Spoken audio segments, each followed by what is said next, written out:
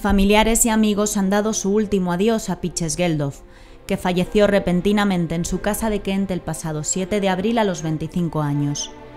La iglesia de St. Mary Magdalene y St. Lawrence de Davington ha sido testigo del dolor de quienes han acudido al funeral por Light Girl.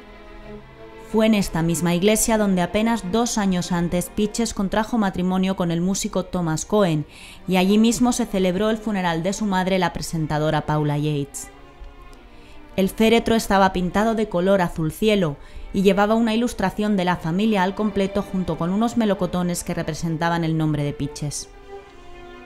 Además de la familia, a la ceremonia han asistido Sarah Ferguson, Pablo de Grecia, la modelo Kate Moss y su marido Jamie Hinz y Trudy Styler, entre otros.